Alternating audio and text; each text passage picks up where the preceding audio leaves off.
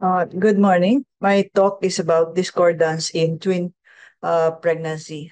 I'll be going through the various uh, stages from embryo to birth.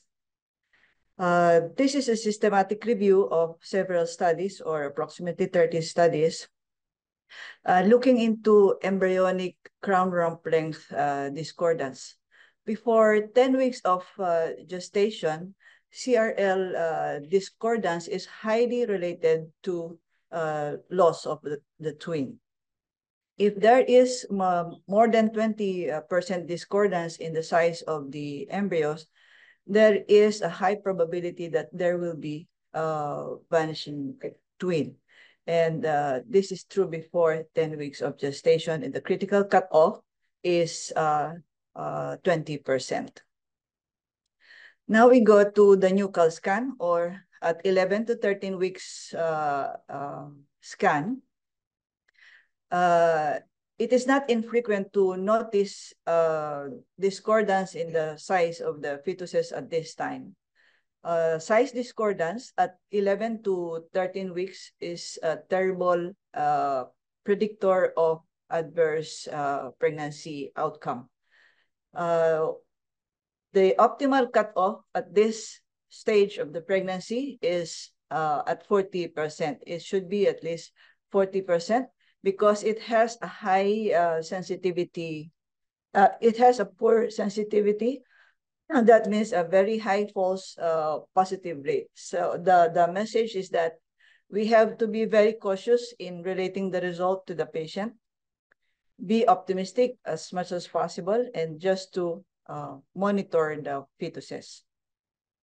This is the National Institute for Clinical Excellence or the NICE guidelines from the UK. This uh, guidance is based, uh, it was based on uh, um, 30, less than 20 studies and somewhat fewer number of pregnancies. So this is just an uh, um, expert recommendation. And they uh, recommended the scans at least uh, every three weeks and to consider delivery if there is a discordance in size of uh, more than 25%. Uh, this is a, a large uh, cohort, uh, the twin in twin pregnancies in the UK, and this is based on the data that is linked to the registry. This graph shows the uh, discordance, size discordance in relation to the perinatal mortality. So the green line shows the uh, discordance in birth weight when the, the fetuses were, were born, and the uh, blue line is the estimated fetal weight discordance based on ultrasound. And as we can see, they are more or less related, which means that we can rely on the ultrasound in the approximation of the uh, discordance and also as a prediction of uh, uh, perinatal uh, mortality. And another uh, uh, finding in this study is that chorionicity did not independently influence adverse perinatal outcome in twins. In this graph, it shows the importance of the um, looking at the the different amounts of uh, discordancy to, to see what matters most in the survival of the pregnancy. The upper line uh, shows the discordance from 5 to 20%, and the green line uh, showing a crush in the uh, survival curve is uh, discordance showing, it shows a discordance of 25%. Uh, so with this uh, data, um, the cutoff of 25% uh, discordance is uh, somewhat uh, a good recommendation. So uh, the, here is an algorithm in uh, classifying the degrees of severity, degrees of severity of intertwin growth discordance. If there is a difference of uh, 50, less than 15% discordance, which is found in 75% of cases, this is somewhat minimal or no discordance and uh, it's not clinically significant. When there is uh, uh, around 15 to 25 uh, discordance in the size of the uh, twins, which is uh, around 20% of cases. This is classified as mild to moderate discordance and therefore warrants increased fetal monitoring. More than 25% discordance uh, around five in around 5% of cases is uh, classified as severe discordance and this is due to placental insufficiency. In a study in uh, uh, 2017, uh, they showed a breakdown of cohorts in different levels of gestation and the um, optimum uh, discordance that uh, between the babies that is somewhat related to perinatal mortality. Uh, they uh, showed that at 28 to 36 uh, gestation, the optimal cutoff uh, is at 40%. And at 31 to 33 weeks uh, gestation, the cutoff is at 20%. And advancing in pregnancy from 34 weeks to 36 weeks, the uh, optimal cutoff uh, was at 15%. So as the pregnancy advances, the less tolerant the babies are to uh, discord, discordancy.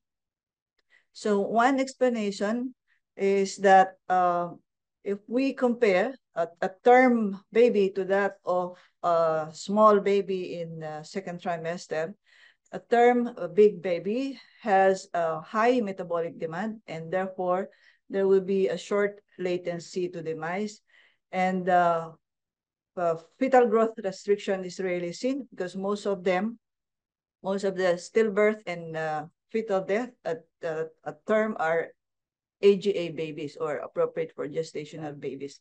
In contrast to an early uh, placental failure in the second trimester, wherein a small baby has a low metabolic demand and therefore has a long latency to demise and can uh, survive for several weeks. And of course, the, the cardinal feature is a fetal growth uh, restriction.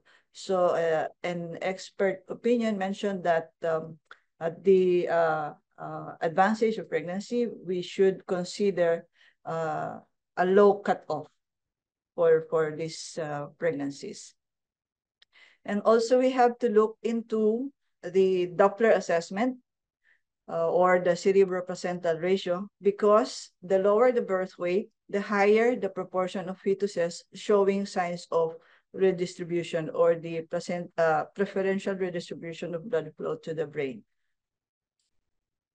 According to multivariable regression uh, analysis, uh, Doppler assessment or only cerebral cerebroplacental ratio uh, measurement uh, significantly showed an association with perinatal death or perinatal mortality.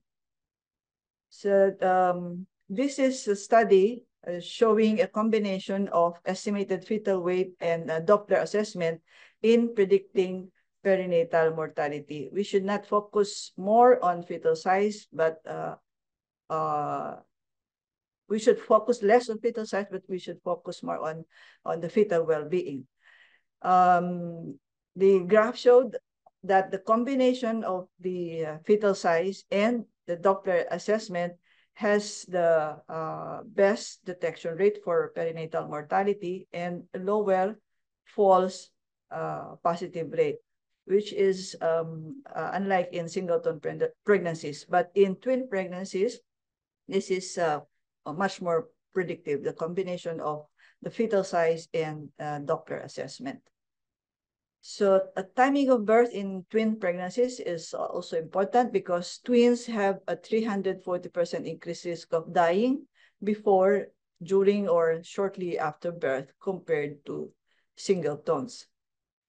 Here is uh, data of a large, uh, a large data of a Japanese study showing uh, the increased risk of uh, uh, stillbirth or fetal death in among twin infants, uh, which is the blue line, compared to that of uh, singleton pregnancies.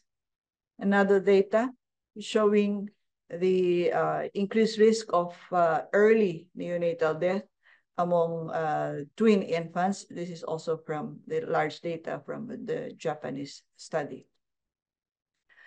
In uh, study of 25,946 twins, they presented this uh, crossover graph. The uh, blue line is the decrease in uh, neonatal death as the pregnancy advances. And the um, uh, red line is the increased risk of stillbirth as the pregnancy advances. And the crossover between uh, the, the crossover in a dichorionic pregnancy is at uh, 37 weeks uh, gestation.